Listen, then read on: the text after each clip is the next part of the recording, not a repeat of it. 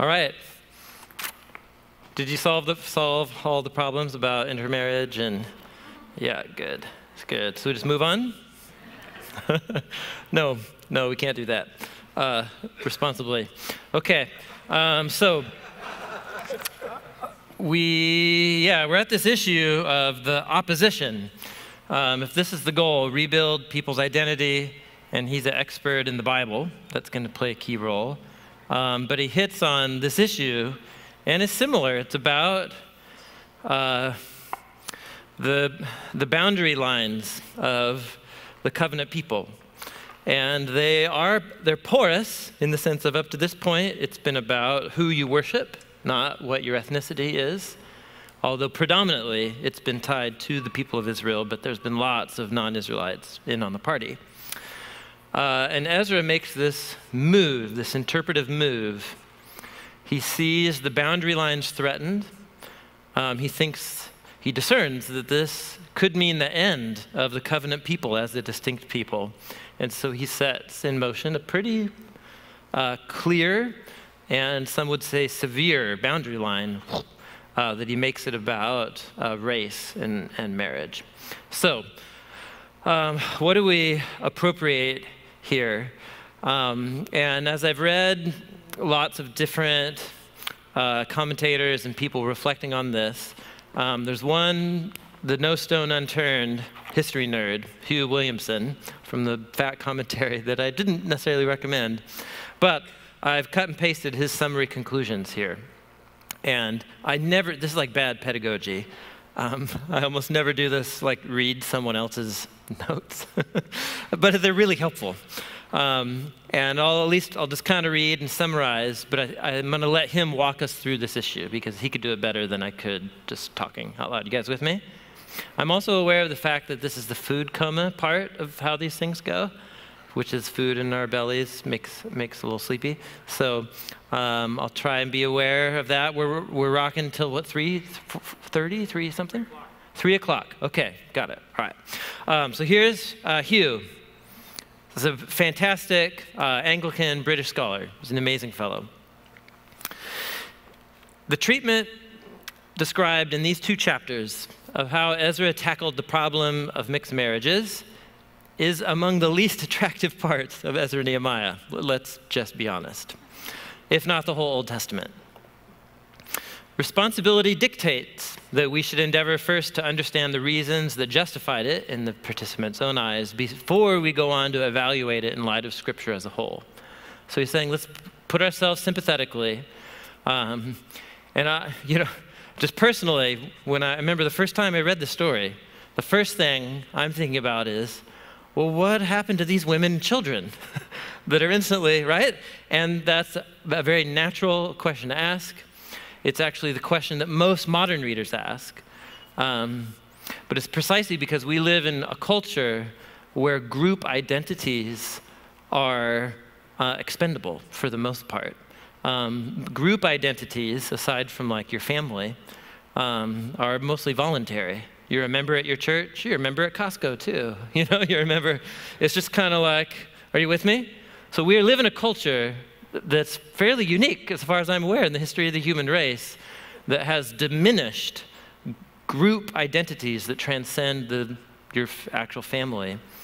Uh, and we're still discovering the effects that's having on the sociological level. So that's for sure a big part of what's going on here, and that uh, in their cultural setting was the main focus. So anyway, I'm starting, let's just, just him say it, sorry. Okay, here we go. The Jewish community in Judah and Jerusalem, to which Ezra returned, found itself in an ambivalent situation, trapped between a political and a religious sense of identity. The Edict of Artaxerxes, Artaxerxes that provided Ezra with his mandate was intended to encourage the development of Judaism as a religious community. Remember, he got, go reorganize, and think there's Persian interests here. They want to stabilize the empire so that they last longer than the Babylonians did, which was uh, about a century. So Persian policy was let all of these people groups have their own local leaders, um, rebuild their ancient religious identities, appoint their own priests, and, and they'll be much happier when they have to pay us heavy taxes every year. That was their philosophy. And so Ezra came, sent by this policy, to rebuild a religious ethnic community, which was somewhat different than the shape of the, the Israelite kingdom in the land in the period before the exile. So he's uh, encouraged to develop Judaism as a religious community. That being so, the qualifications for membership in this new Israel had to be redefined. Otherwise, there was or there was felt to be a danger that the distinctive elements of the Jewish faith would be watered down, perhaps beyond the point of recognition by assimilation to surrounding cultures. So, this danger was heightened by the economic power welded by some of those who are here labeled the peoples of the land. So think, think about this. During the exile, so many, many families are forced off their land to go into Babylon, and it's just land there for the taking, for uh, people to buy up in their absence. During the exile, foreign landlords had apparently assumed control of a good deal of the territory and the difficult economic circumstances that the returned exiles faced could have placed them at the mercy of their powerful neighbors. Against all of this, he has five points that I find really helpful, and I think they will help give you some handles on how to, to teach these, the story in your own setting. So, first, the Mosaic Law was by now a constitutional foundation for this community, and lo and behold, there's no direct guidance about the central issue that Ezra had to face. Are you with me? So, the peoples of the land, what do we do in this situation? We've never been here before, right? It was just different. It's a different sociological setting than the Israelite kingdom in the Canaanites. So, we've never faced this, this problem before. So, in consequence, he taught and the community accepted an interpretation of the law according to its spirit as he understood it. And, and I kind of had to go over it quickly, but if you, this little chart here, where I just go through Ezra's words, and you can see all the hyperlinks to the passages that he's adopting language from. And you can just see it. He's making a move that's saying the ancient Canaanites and the way that our ancestors related to them is what we need to readopt in this moment now with these people who aren't Canaanites, but the, tendency to lose our identity because of these religious practices that could infiltrate us. So he does what he does. You can just see it at work in the passages that he quotes. Okay. So he did an interpretation of those laws according to the Spirit. We may not agree with certain aspects of Ezra's interpretation, but his motivation and his method remain ones that we would acknowledge as valid today. Do you see the point that he's making? So, in, so we have the teachings of Jesus on marriage. Um, he had a very high view of marriage, and we actually have directions from Jesus and the apostles that um, I think would compel us to say what Ezra and Nehemiah may have been right in that moment, that is not what followers of Jesus that's not how we're supposed to respond to a similar circumstance, divorce, namely. So, but the idea that we need to constantly be facing new cultural settings that raise new problems that Paul or Jesus didn't directly address. So, what do you do? You have to interpret the Bible according to its spirit. So, we adopt the practice of Ezra of reading and trying to think about what are similar circumstances we find ourselves in today uh, that allow us to take scripture from the past and, and apply it in today. So look what he says next. He says, We've noted in connection to the list of people who divorced their wives in chapter 10 that only the leadership of the community was involved in these proceedings. So it was mainly the leaders of the community. The survival of the whole stood no chance at all if the center became soft. And then this is interesting statement I, that I found helpful. Israel's election was never merely for her own comfort, but so that she might shine as a witness to the nations for God and his standards. And he quotes here the calling of Abraham. Yeah? I'll bless you make you a great nation, covenant people, so that you can become a blessing to the nations. His point is that Israel maintaining its identity to be a blessing to the nations can't be achieved without maintaining a distinctive self identity. And this was thought to be threatened by these marriages. Um, if you go read the hyperlink of this story in Malachi 2, which seems to be a contemporary text, uh, in some cases, the, uh, when Malachi, it's the famous line from Malachi about divorce. I hate divorce, says the Lord your God. So, what kinds of divorce is Malachi opposing?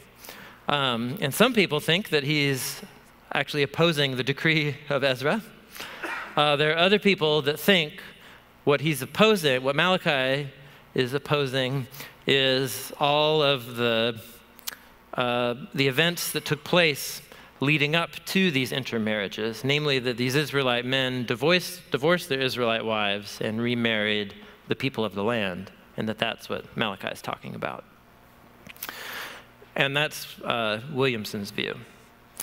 So even though it's not mentioned here, knowledge of this fact may have reduced the sympathy for the majority of the families concerned. In other words, again, we read Ezra 10, we think, what about the women and the children? And what Williamson's saying is, in light of Malachi 2, we should also be thinking, what about the Israelite wives who were divorced before they were remarried? Are you with me here on that one? It also serves to remind us that divorce was, in any case, regarded in a rather different light than it is today, when the church has its expectations of marriage raised by Jesus' high estimation. Here's another interesting thing Ezra didn't impose his solution from above. Who, whose solution was it? Do you remember? That guy Shechaniah. And then all the people agree, and Ezra's like, Yeah, I think that's what needs to happen. So he may, in the meantime, have been teaching them his interpretation of the law, but the initiative for response comes from the community itself. That seems to be a significant detail in the story. Finally, it should be noted that no indication is given of what provision may have been made for these divorced families, the women and the children. And that's simply because the concerns of the narrative lie elsewhere. But this happens all the time in biblical narrative, right? Where the question gets raised, the story raises some question that you are like, surely this is the question everybody's asking. Why doesn't the story ever talk about it? Why didn't God accept Cain's offering? It seemed to be a perfectly good, are you with me? And it's just the narrative has a different agenda. And so it just doesn't. Why did Moses get disqualified, you know, for striking the rock instead of speaking to the rock? Really? It's kind of harsh. You know? And it's just the agenda, the purpose of that story isn't to answer your questions, it's to make a point that's very different than the point that you and I might be looking for. And so this is another one of those stories, which is the main thing that given our social location, the thing that we ask is exactly the thing that's not the priority here. Um, so, what he goes on to say is essentially this um, that up to this point, identity and membership in the covenant community had been about religious allegiance. What God do you worship? And he says he thinks that's the main takeaway that we still, as followers of Jesus, need to hear today that this, this ambiguity of your neighbors um, within when you're the covenant people of god how you relate to your neighbors you can't just drop a law out of heaven about that every generation every culture there's going to be different dynamics you have to navigate and there are some times when you when the church needs to pull an ezra and do things that will be viewed uh, as unfriendly um, as intense or severe, but sometimes the identity of God's covenant people is truly at stake. And so a severe decision or an intense decision needs to be made. And welcome to every single generation of church history, right? Really. So it's just the circumstances and the hot topics differ, but there's never been a generation without their hot topic boundary line issues. Um, and it's good to remember that because we tend to think that the ones of our own generation, the generation we happen to be living in, we tend to think of as the, like the worst or the most intense form. Are you with me? And so, uh, obviously, all kinds of things in our culture about sexuality, gender, the nature of the family, the nature of human communities, all this pluralism, religious pluralism. Um, and there, we have to do the same thing. We have to do the same thing Ezra did: is discern, do it as a community, um, consult all of the scriptures that we have. For him, that was the Torah, and go for it. And uh, the results will likely be anticlimactic, as they were for Ezra. But what more can we hope for this side of the new creation? You know what I'm saying? Is we have to discern what it means to be faithful and then do it. And we're probably wrong about however much percentage about it, but we just be humble. Are you with me? It's just, there you go. there you go. Um, th- this one's pretty clear, and I think uh, if you're teaching this in a community of Jesus followers, you have to mention this. In the most analogous situation in which a Christian is ever likely to find themselves, namely married to an unbelieving partner, the New Testament, but, and he means the apostles, explicitly rule out divorce as an available option. In other words, if I'm married to somebody who's not a follower of Jesus, Paul the apostle really clearly said to the church in Corinth, yeah, don't divorce. Don't leave the marriage. That's a bad idea. Um, you guys know that passage. It's a very important passage. Yeah. So in 1 Corinthians 7, 1 Peter 3, rather, they encourage a lifestyle by the believer of such a manner that could win, comp- become compelling to win this person to person over, win this person over. So here's uh, his kind of conclusion, and I'll stop. I'll stop reading his notes after this. So, nevertheless, concentration on the narrow racist aspects of this passage should not blind us to the more general biblical teaching that for a believer to enter marriage with an unbeliever is likely both to endanger his or her faith and to weaken the marriage since they cannot share together those things which one partner most holds dear. This was the intention of those original laws about intermarriage in the Torah, and that remains true for the Christian as well. He quotes Paul's uh, line about being unequally yoked. Um, so, uh, does at the core, does this story hold a message that's a really important thing to talk about in your church community? It totally is. Um, it just requires homework, and uh, there are some classes or sermons where you have to work harder than others to be super clear so that you're not misunderstood, and this will be one of them. this will be one of them. Um, and to, to kind of give the background of the story, um, there are stories like this where, um, in, our mod- in our particular cultural setting, some stories just make everybody angry and then they shut the audience, they shut the people in our churches down from being able to hear the really important thing happening there. Um, the story of Saul and the Amalekites is another one of these, where the whole thing is about his self deception. He thinks he's obeying God when he's not. And that's such an incredibly profound thing to talk about. But the whole thing is that he didn't kill all of the Amalekites. I mean, you're just like, oh man, really? Like that had to be the story for that point? And so you have to, you have to, first you have to do a whole thing on the Canaanite thing before you can get to the, and so that's okay. That's just the hard work you have to do as a Bible teacher, but it's worth doing. So um, there is something to it where I'm going to say here, however you want to introduce Ezra, I don't know if that's a separate teaching or not, um, but I'm just going to call this uh, a boundaries issue, the boundaries of the covenant people. Um, there are times where those boundaries need to be really porous and open um, towards people who aren't don't give their allegiance, and there are other times where the boundaries need to be really clear. And the Spirit uh, will be the one to guide different leaders and church communities to make the right decision in their particular context. How you guys, how you guys doing? I mean, I know that's, I'm trying to tie up with a bow something that's hard to tie up with a bow, but I'm doing, I'm doing my best. Um, uh, Derek Kidner and Throntveit also have really good discussions, but I liked I like Williams too. Okay, should, should we keep going? Okay. Hi. Yeah, yeah.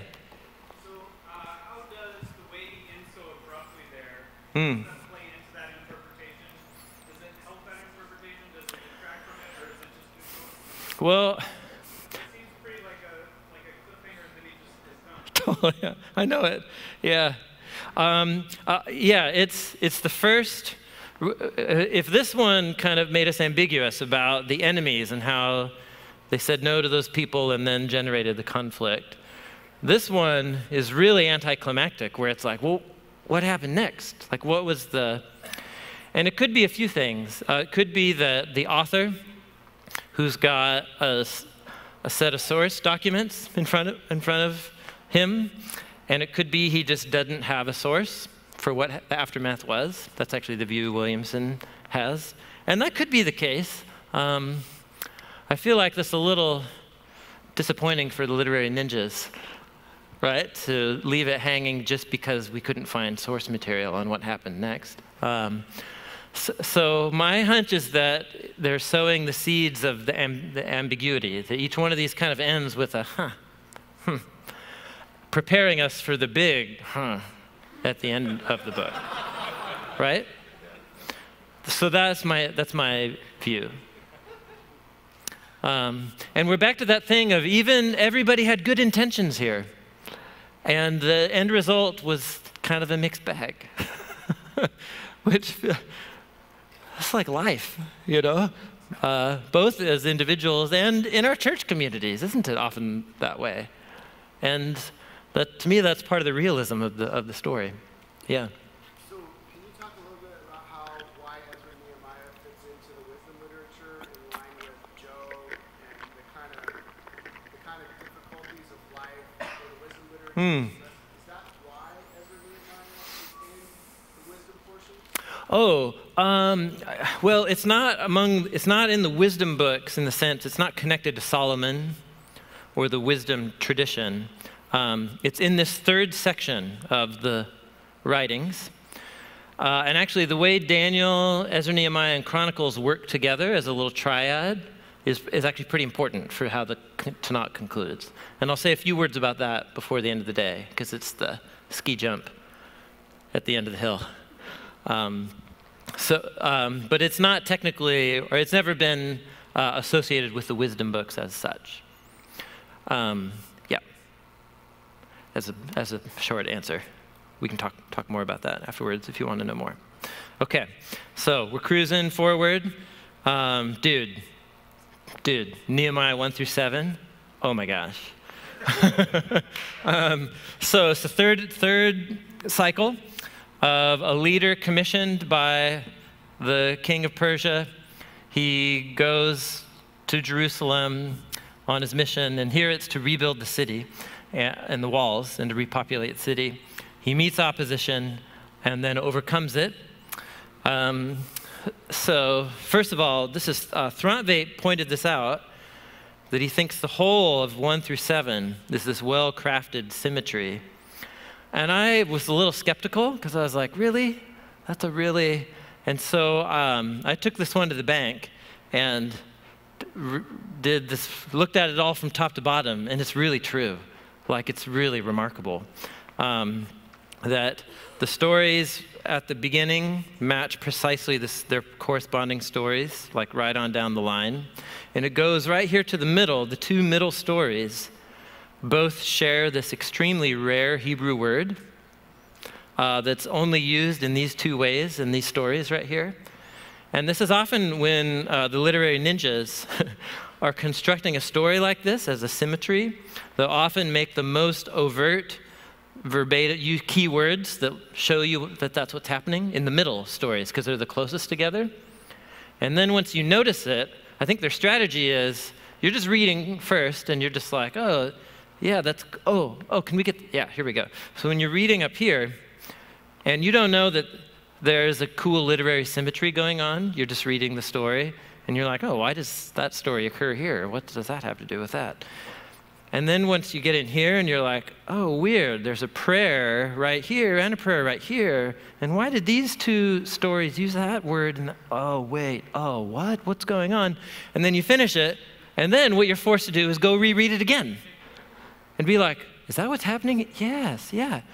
And so you get out here, and um, Nehemiah's brother, Hanani, like, he plays no role in the narrative except that he's just mentioned randomly, just in the opening story and just in the closing story here.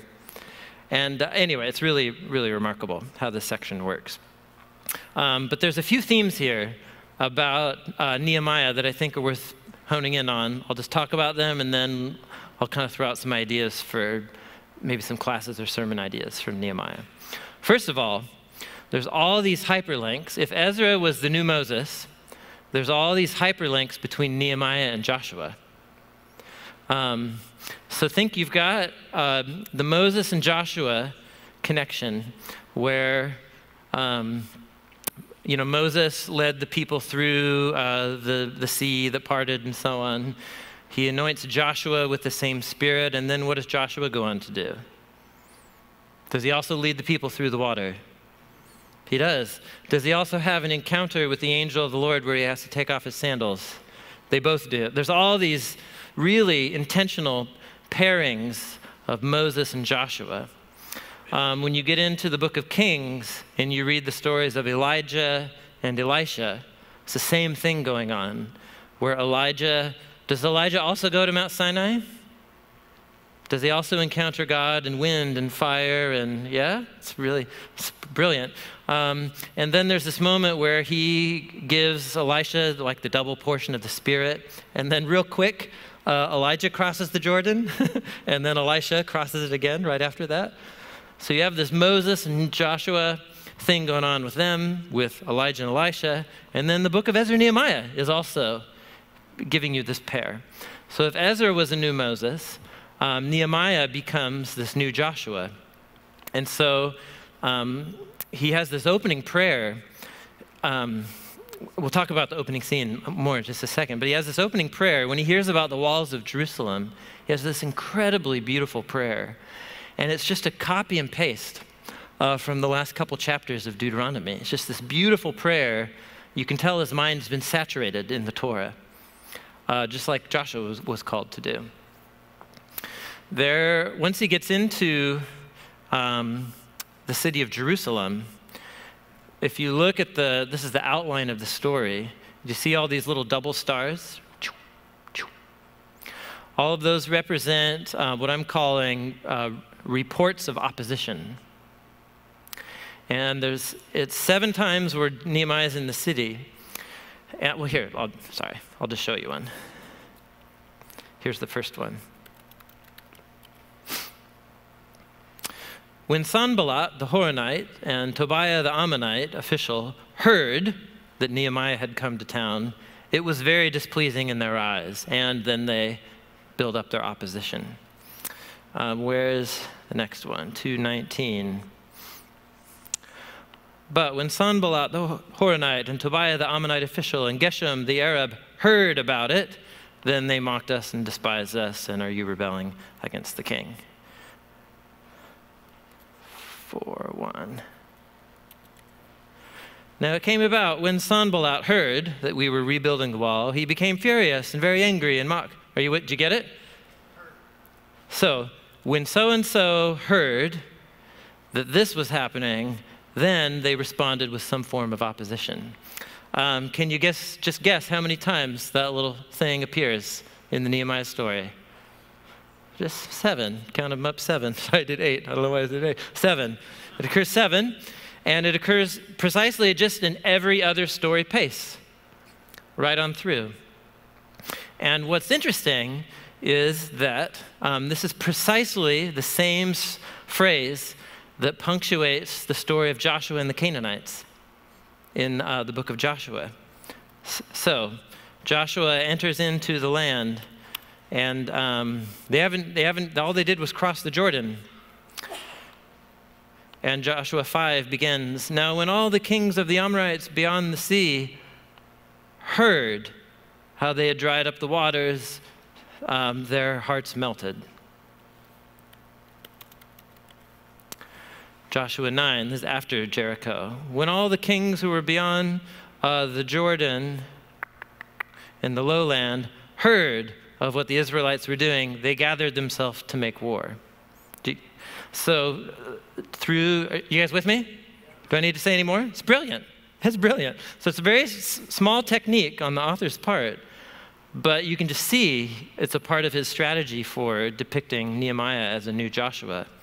And then um, in the Braveheart speech of Nehemiah, he has a Braveheart moment where, like, uh, Sanballat and Tobiah, they, they launch this rumor that they're going to do this like secret night attack on Jerusalem, and all the people are afraid to work on the wall anymore. And so he, it says he stood up on the wall he got everybody's attention. Braveheart moment. Um, and this is it. It's Nehemiah 4:14 is the Braveheart speech, and it, it's a, a quotation from Joshua's speech to the people um, and a quotation from Moses' words about what Joshua is to do once they get into the land. So come on. I mean, you guys. He's the new Joshua. What, what more? Do you, just, do you just need him to write it on the page? Right? so they have. They did it this way. So you've got, uh, so once again, it's the same thing. It's every generation sees itself as playing out some chapter of the biblical drama. That's awesome. Uh, here's something about these stories that really struck me uh, just in this round in the last few weeks of reading and, and thinking about them in preparation for today. And it's um, uh, the Nehemiah story gives us a, a realistic portrayal of the internal life of a leader. And it's actually, when you look up, when you Google Ezra Nehemiah leadership principles, it's usually actually the, the Nehemiah story that people appeal to. And that's because he's really inspiring, actually. Um, what he goes through, how he discerns this divine call on his life, the things that happen, the obstacles he faces, uh, the leadership strategies that he used. It's really, he's wise. He's a good leader. And um, even though I don't think this is the books of Ezra and Nehemiah are a handbook on how to do your next building campaign or something, right? So don't use the book for that. At the same time, as a character, I think you and I are supposed to learn from him and reflect and meditate on how he led people through a very traumatic time of crisis where it once again seemed like their identity was at stake and everything was lost, and how he navigates people through. It's really, it's really an inspiring story. So, if you're going to do the Nehemiah story in two parts, um, one of them I think should somehow be like a character study. And I just have a few, uh, few thoughts in the notes here a character study on Nehemiah. And the opening of his story, it's really dramatic and awesome.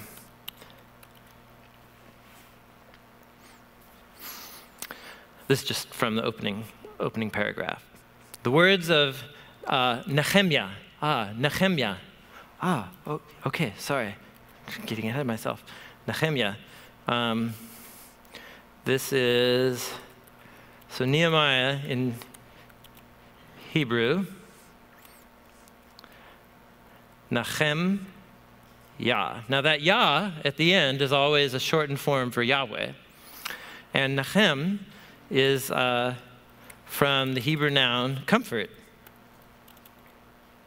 So it's either comfort of Yahweh or comfort, Yahweh is comfort. But comfort, comfort. Yeah? Nachamu, Nachamu. And then who arrives to bring Nachamu to Jerusalem? Nehemiah. Nehemiah brings Nacham. You get it? It's, it's good. It's really good. Yeah. This is how biblical names work in, this, in the Old Testament. So the words of Yahweh is comfort, the son of Chakaliah. It happened in the month of Kislev, in the 20th year, I was in Susa, the capital, and Hanani, one of my brothers, and some men of Judah came. And, you know, I asked them, how, how are all those Judeans that returned, they left, they went back to Jerusalem. How are those guys doing?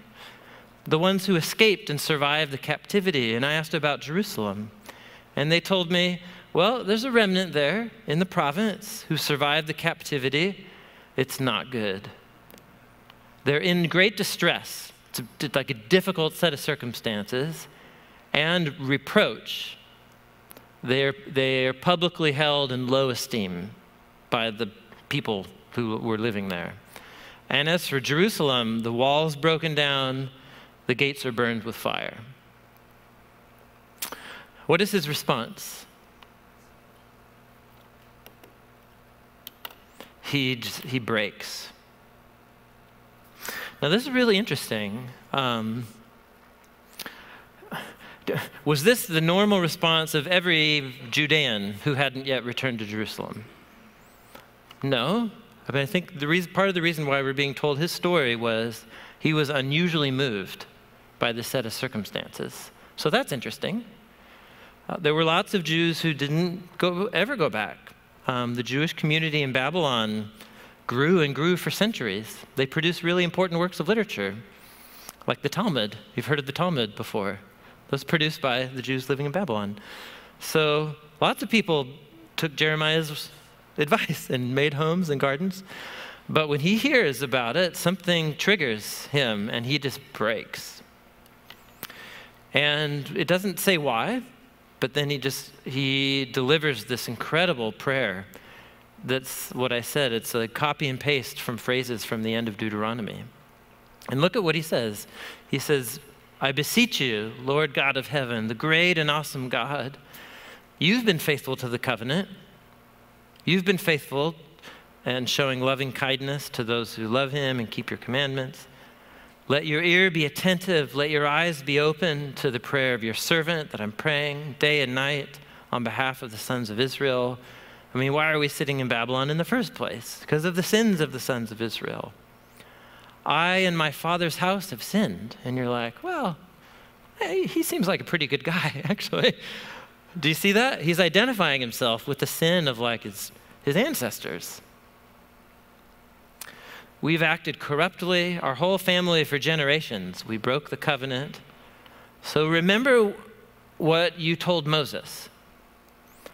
So that's a hyperlink to, let, let me just read, and you see if you can remember the text that um, is being hyperlinked here. Here's what Moses said If you're unfaithful, I'll scatter you among the peoples. But if you return to me and keep my commandments and do them, even though those of you who are scattered in the most remote parts of heaven, I will gather you from there I will bring them to the place where I have chosen for my name to dwell. Anybody?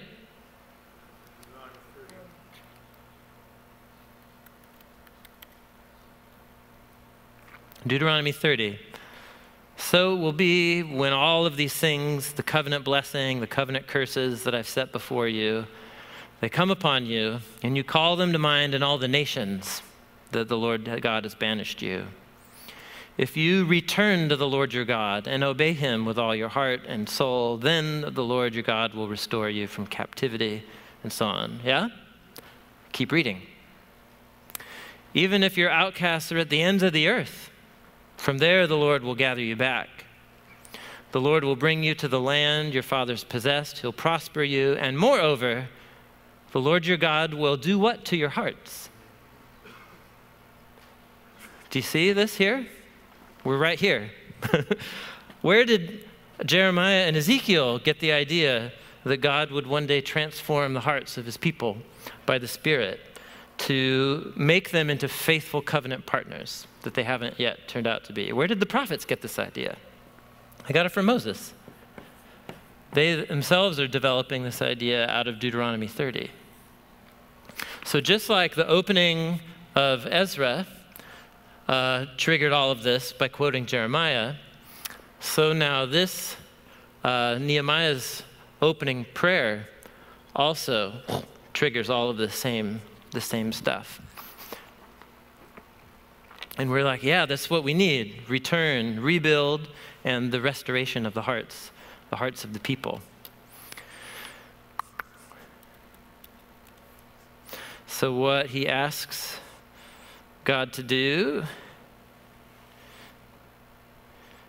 he says, Listen, these people are your servants that you redeem by your great power. I beseech you, may your ear be attentive to the prayer of your servants who delight in your name. Make your servant successful today. Grant him compassion before this man. And your question is, what man? like, there's no other person in the story right now, just, right? And then he goes on, oh, yeah, sorry, guys, I was the cupbearer to the king, and I'm about to have a conversation with him. Isn't that great how that works? He's a cupbearer to the king. He's an Israelite who's an official in a foreign land, and he's a cupbearer to the king. Is this reminding you of anybody else's story? Right? Joseph's story. Joseph's story. He is the cupbearer, has that dream about being restored to the king, and then he's the brilliant. Now, it came about in the month of Nisan, in the 20th year of Artaxerxes, that wine was before him. He's the king, you know. So I took up the wine and I gave it to the king. Now, I had never been sad in his presence. But the king said to me, Man, why are you so sad? What's wrong? Are you sick? Do you have the flu? This can be nothing but sadness of heart. And then I was freaked out. and I said to the king, King, live forever. How can my face not be sad? when the city and the place of my father's tombs is desolate, the gates are consumed by fire. And the king said to me, What do you want? So I sent a quick prayer. You guys know this? This is one of the most well known parts of the story, just in the moment prayer. And I said, uh, Could I go back and rebuild it? And then the king said to me, queen was sitting right beside him. Uh, how long will you be gone? And then the, pleased the king to send me. And so I gave him a time. And he basically says, Here's the keys to the royal treasury. Have a blast. and, uh, and, then, and then he goes. So, uh, what's happening here in this story? This classic Old Testament story. It doesn't tell you what the main point is. You have to ponder and meditate. But think. So, we have a character who, the moment he hears about the desolation of Jerusalem, his heart breaks. And he, he he's so um, bothered by this passion that's inside of him that he can't hide it. Yeah? He can't, he, like, it's like Jeremiah keeping God's word in, like fire in his bones. He can't not do it, right? And so it's so obvious to everybody around him, it becomes obvious to the king. Now, how on earth, isn't it just what a coincidence that the guy who happens to be the cupbearer to the king is the one guy who has his heart broken when he hears about Jerusalem? And he can't hide it. And then, what kind of king, what kind of mood does the king have to be in on that day that he's like, oh, one of my servants is in a bad mood? and instead of like being bummed, he's like, can I help you? Let's, can we do some therapy right now? right? And are you with me? It's really, it's so interesting. And then he, he just says, listen, the city is like this. And the king says, okay, what do you want? Let me help you out. And he like funds the whole thing. So the story isn't saying it, but it is saying it. Who's really at work here behind the scenes? This is like an Esther type of situation. For such a time as this, and like what Mordecai says to Esther, even if you are silent, God will raise up deliverance for this people from somewhere else. That's totally what's happening here. Um, and so this whole intro story is this fascinating exploration of divine, how providence works in the lives of God's people. It, it's when somebody's heart breaks for something inexplicably, and then they meet someone else who just is feeling extraordinarily generous that day. Yeah, this is how stuff works. If you're in ministry very long, you know this is how stuff works. And no one planned it. This isn't any five year strategy. This just happened. And that's remarkable. That's a cool story to tell. So I, this is a this is a great. This is out. Finally, we get to like a feel good message. Ezra Nehemiah. This like a study in in providence, and in how uh, God can strategize things and align events to bring Nahum, comfort to his people in ways that they never would have imagined in their five year plan. Come on, this will, tell me this won't preach. Yeah, it's good stuff. So it's, it's uh, and, and we kind of had this already. Like, what moved Cyrus to do, say this, and what moved Artaxerxes to send Ezra? But this story really makes that the focus of the work of God's providence, orchestrating events beyond what anybody could have planned uh, for the benefit of his covenant, covenant people. And it doesn't always work that way. Does it? All, is this daily life? Like things don't always happen. They're actually really rare, but when they do happen, we're to receive them as gifts and steward them. And, and uh, so there you go. That's how Nehemiah enters the scene. That's my two cents on what to do with the story, what to do with a story like that. Um, the next part, you can pick multiple stories here. Um, but essentially, how he goes about, I just kind of have some thoughts here. How he goes about rebuilding the walls, it's, it's all really interesting. Uh, I think showing his integrity and character as a leader. So he goes to the city and he doesn't announce his five year plan. He does a midnight ride, like Paul Revere. and he doesn't tell anybody. He's just fact gathering. Do you guys, it's uh, in chapter two. He just goes at night he doesn't tell anybody what God's put in my heart. And he just goes and surveys the wall. He gathers tons of data. Um, and then he orchestrates a plan. Chapter three is all of these, it's a huge list of families that helped him work the wall. So you, Nehemiah's clearly been at work arranging a broad scale coalition, unity, all of the, this is the stuff that the Nehemiah as building campaign model. Like that's this is where this stuff comes from. But it's great. It's like actually in, in the story. Um, he, when Nehemiah uh, uh, faces opposition in these stories, he doesn't uh, view it as divine disapproval. Like he has, he makes his plan, he starts to launch it, and then we have all the opposition notices. There's seven of them. I mean, let's, let's say you plan to do anything in life and then you encounter two people that you've never met before, and the moment they find out about your plan, they make it their mission in life to make you miserable and to thwart your plan. And you would be tempted to say, maybe this isn't God's will for my life. You know what I'm saying? We often interpret opposition as a sign of maybe I'm not supposed to be doing this. And he doesn't see things that way. He sees it just the opposite way. And he never fights with them. He doesn't launch a war. He just, uh, he does arm the people because they spread rumors that they were going to attack them. So the Nehemiah, they're great. They're great stories. Um, so if anything, this is about uh, providence. Uh, and, and maybe this is, this could maybe even be a little two-part mini-series about providence. Here's when everything goes great. the story with the king and the story with getting the resources to go back. But then there are other times uh, where things don't go great and there's opposition? And how do you maintain a trust in God's providence in those seasons and in those moments? And these stories, especially in Nehemiah uh, 2, 3, and 4, are really cool for that. So uh, those are at least my two cents on the Nehemiah stories.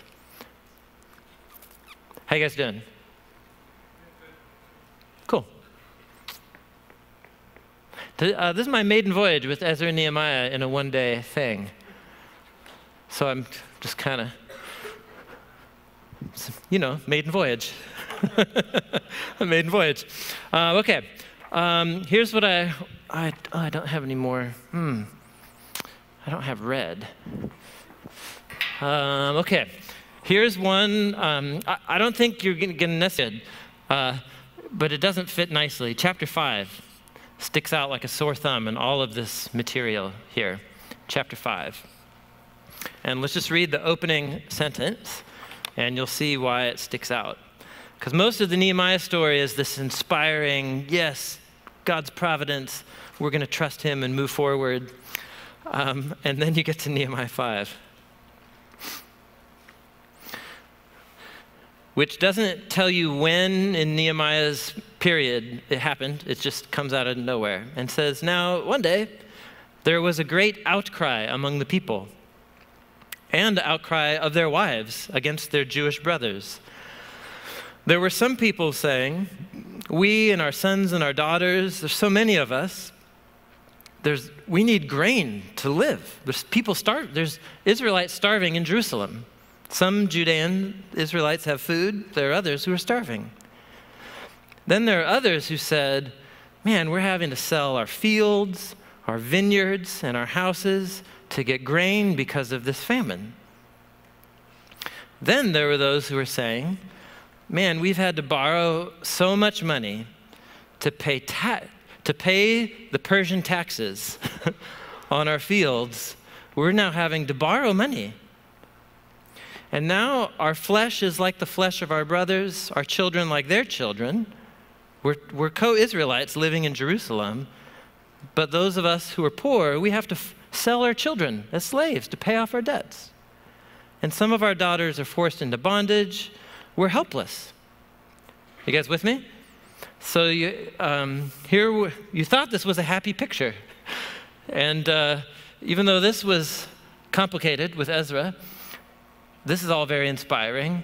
And so we think, yes, we're doing great. We're back in the city. And then you realize, like, no, there's famine, there's economic inequities, inequalities among the Israelites.